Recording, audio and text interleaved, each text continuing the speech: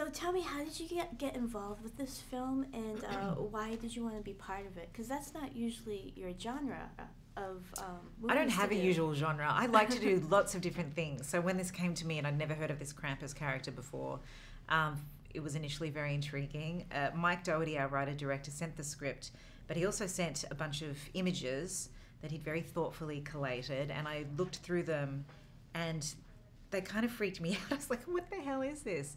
Um, and when I read the script, I loved that it starts out in one kind of tone or genre or one feeling, or you think you're on one path and you are swiftly taken somewhere else. I love to be surprised when I'm reading something, or even as an audience member.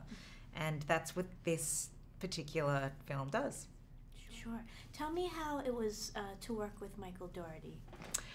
Um, it was a pleasure. I mean, he wrote this. He was so um, dedicated and specific and kind of childlike in his enthusiasm. You know, um, there are a lot of creatures and characters and ghoulies involved in this, and and some of them were done in post, and a lot we worked with. You know, there were a lot of practical effects or puppets, for want of a better word.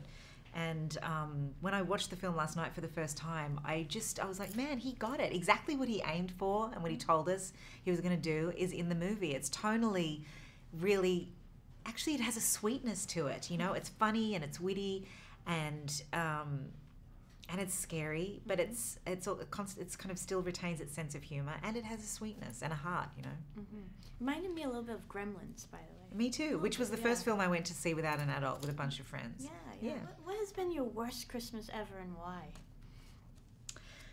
I love Christmas. I don't think I've had a really bad one. I mean, um, an unfortunate incident happened a couple of years ago. For the first time, I took my family to go and have Christmas in Mexico on the beach. Usually, we're in Australia and with we're with the rest of our family. And I stupidly sent the gifts ahead, thinking, "Oh, I won't have to take them all, or you know, the kids won't see them, or it ju- there just won't be so much luggage." And they, you know, they went missing. Oh, gosh. that was a bit of a pity. yeah. Um, what does Krampus represent to you, and what does this film evoke for you? Krampus, oh Krampus. Um, well, Krampus himself is is, you know, this ancient folkloric, um, evil, demonic, pagan, hooved nightmare who will come and terrorize you if you've been bad through the year. Much in the same way, Santa will reward you with gifts if you've been good.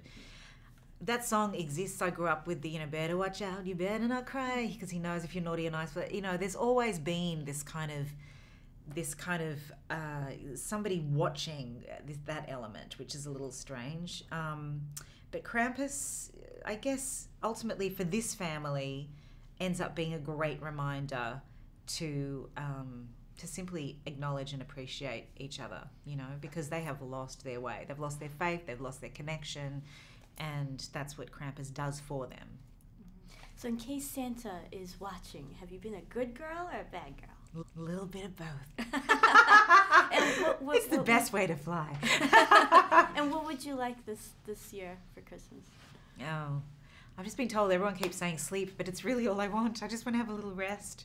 Um, I just I I'm a fan of Christmas, so as long as I'm with my family, that's it. You know, where I don't have to rush off somewhere or nobody else has to rush off, and you just have this day or a couple of days if you're lucky where you you just get to be together. You literally just laze around. In Australia, we swim and we cook great food and you know watch the Christmas carols and It's summertime over there. Yeah, right? it's Oh, very so that's different. A different Yeah. experience. Mhm. Yeah, it's kind of the California experience, actually. it's even warmer. Oh, wow, really? yeah. Yeah, interesting. Yeah. All right. Well, thank you. Thank you. Thank you.